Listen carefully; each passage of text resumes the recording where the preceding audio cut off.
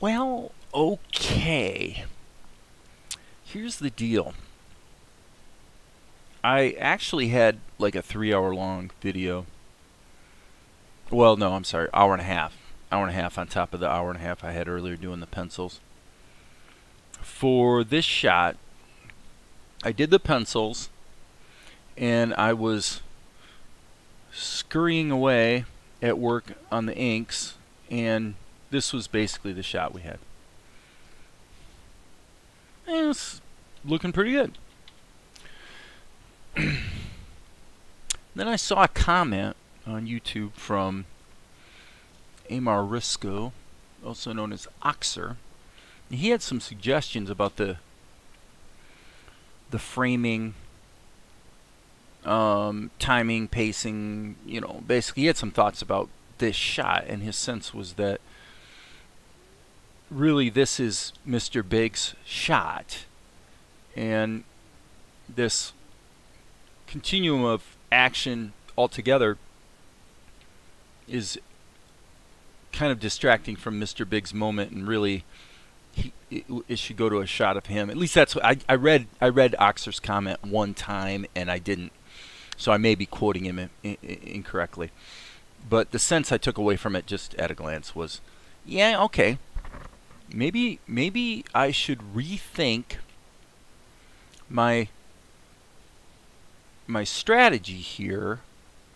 And because it often turns out to be the case that you can you can rework the staging of a scene maybe instead of one long continuous camera move or something like that um, break it into pieces. And a lot of times what happens is you wind up telling the story better you do you do something that's actually easier to do and you get a better result you always want to be open to that possibility. Well, after Ocsir pointed that out, I kind of said to myself, okay, well, if I'm going to rethink it, I'm going to rethink it in Blender. Let me save this. I'll show you what I'm doing here.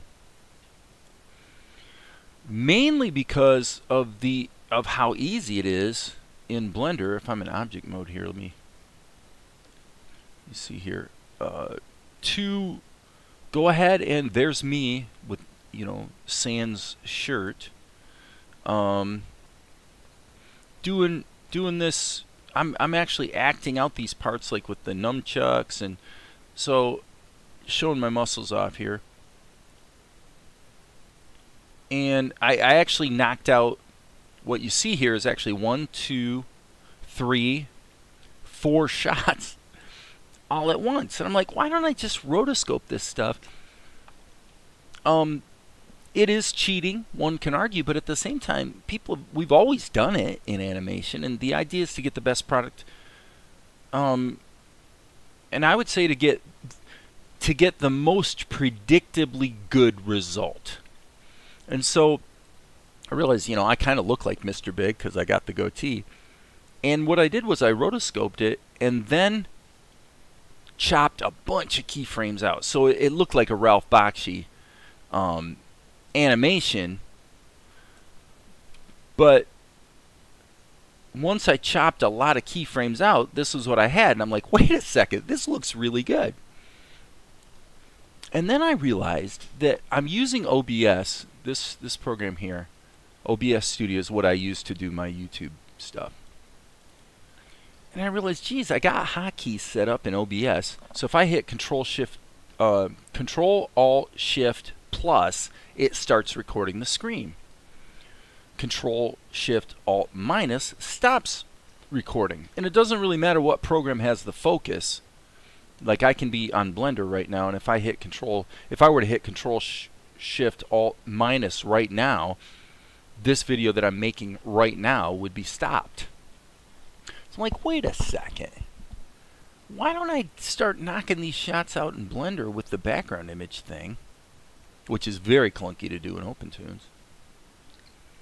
And then cut the shots into Blender. Just do a screen cap. Once I have it where I think it's going to look pretty good, do a screen capture and just use the the image crop feature like this,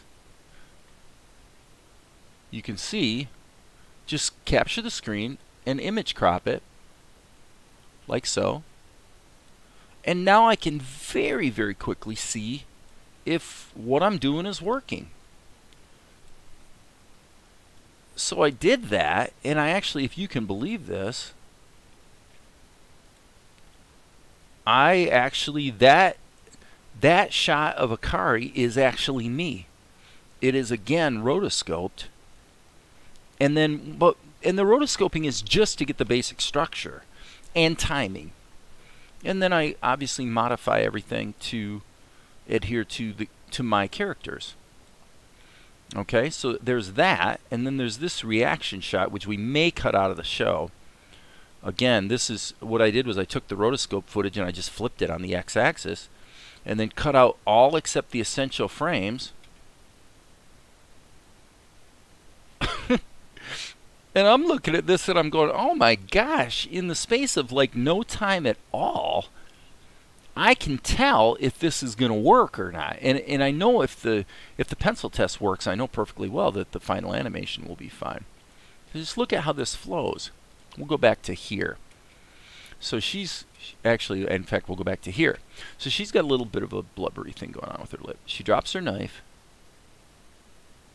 That's better. Now be a good girl. Good girl? I'll you good girl. He says, take her. And I'm going, geez, oh, Pete, you talk about production value. This is cool. The one thing I might change here is I would probably say, let's start this shot later. But my point is that I my goal is to get from I want to get from concept to do I know if it's going to work? Okay, is this acting screwy here? I think it is. So I'm just going to move these one at a time.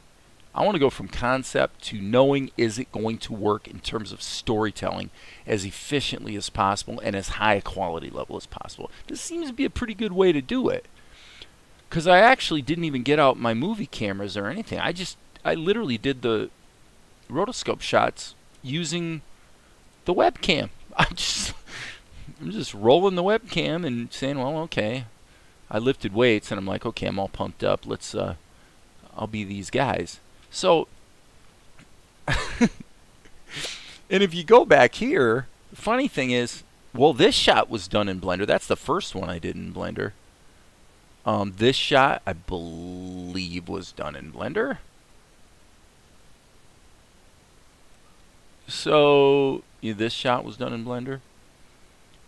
What I think I'm seeing here is that the quality is going up and the speed is going up as well. Because this is just, at this point, the cool thing is I can show this to my partner. This, this literally took, well, okay, this was the first one I did. This one took 10 minutes. To go from concept to finish, finished pencil test took 10 minutes. So I'm like, holy crap. So I can cut it into the show and let her see it and say, you know, you like what you're seeing. If she likes what she's seeing, great. If not, we'll just take it out. I mean, the cost is so low. So, um, anyway, that's, I just wanted to share that because it's like, holy cow, this is really a, a great workflow. It's quick to create an anime or a, uh, a rotoscope footage. It's quick to you know, trace what you want to trace, then turn it into the correct characters. Take out any keyframes that aren't absolutely necessary because this is anime. I mean, what this actually reminds me of, honestly, is it reminds me of, um, it reminds me of the uh, sequel to Avatar: The Last Airbender. In fact, who knows? I don't. I don't really know because I don't remember what what all she looked like. But maybe Akari sort of looks like um, Gosh, I forget her name. But, I mean, the point is, what we want is we want effective storytelling. And anything that gets us there is fair game. So at this point, I see myself definitely embracing Blender more and more for animation because I knew it was superior for ink and paint once I started using the latest builds. But now I'm seeing that it's superior for the pencil test too. So, gosh, I hate to tell you this, OpenToonz, and I, I certainly have some stuff back here. Um, not in this this scene, but in the the bigger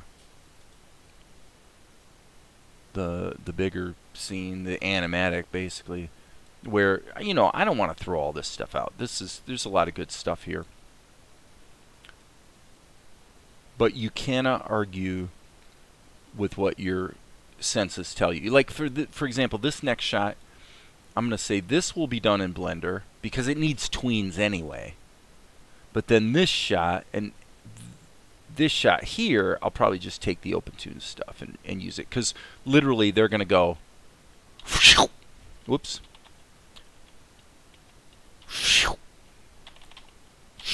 So I don't even think it needs tweens. So this is going to be usable right out of the gate.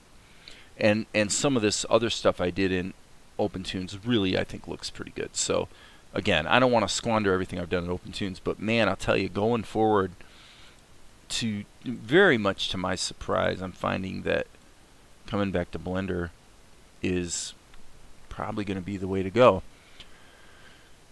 because it's getting to the point where I can create almost as fast as I can think and then I know for sure is this working or is it not working. So the thing you got to remember is if it's working from a storytelling standpoint, it's going to work. The show's going to look good. I know I can do the ink and paint. Um, so it really is this stuff that has been previously a lot more hit and miss is where you really want to get some economies of scale, if you will.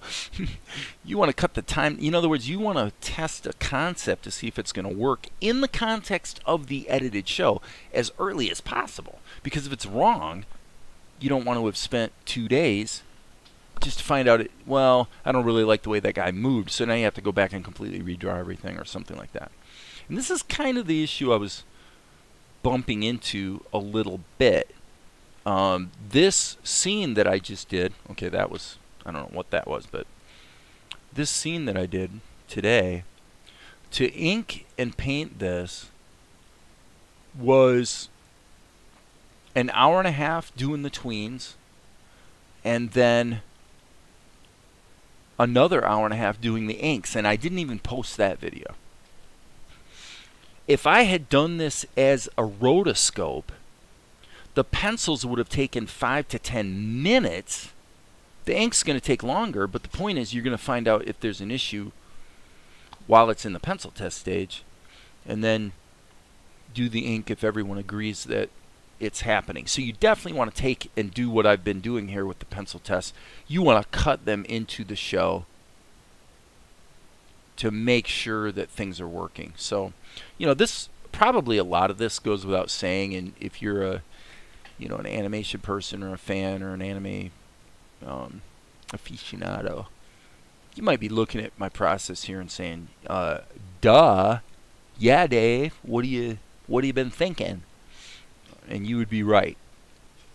But man, you know, every day is a learning experience, and I am determined that we're going to figure out how to efficiently create anime and it's going to be good. And it's going to be good storytelling, good camera angles, good action, the whole thing. And I'm just I'm going to figure it out. And so today was really kind of a milestone in my opinion. Just because we came up with something that was tangibly more effective than what I was doing before. And this does not look rotoscoped. That's the coolest thing about it is it doesn't look rotoscoped. It's just you know, you, you want to only and and in fact this is completely retimed. The actual action that I acted out took probably 3 times as long, but once I got the just the main keyframes in there uh, that were probably 6 to 8 frames apart and then I pushed them closer together took out everything that wasn't necessary and just, you know, edited it in essence. Edited this to get the timing I wanted. So, anyway, I, I don't know. I just wanted to share this this uh, process because I think anyone who has a creative idea for a story could use these sorts of techniques probably to accelerate their workflow and get a better result without necessarily having having to be um, you know the best artist in the world or whatever you know? So anyway that's it. Snap snap snap I'm gonna you know there's gonna be more later but I think I'm gonna keep moving forward with getting these pencil tests cut into the show come back and do the, the ink and paint later because the important thing is storytelling. That's by far the most important thing. If the storytelling is right, you'll find a way to make the final imagery look, you know, good enough. So, anyway, that's it for now. If there's more, there may be more. Um, I'm not even going to post the hour and a half video of inking the shot that I posted the hour and a half video of penciling tweens this morning because I just don't think there's that much good stuff to take away from it. In fact, halfway through, um, OpenToonz crashed, and I lost this time, you know, because I, I made that critical mistake. I got in the zone, starting enjoying myself, just doing the work. I'm like, ah, flying along. All of a sudden, the last half hour or more of work gone forever. That's really frustrating. The one thing I will say about Blender, even with 2.8, it doesn't crash very often. There's weird things here and there, but basically, it's it's, it's more stable than OpenToonz, no question about it. And Blender always has been. So anyway, that's it for now, and I'm sure there will be, as usual, more later.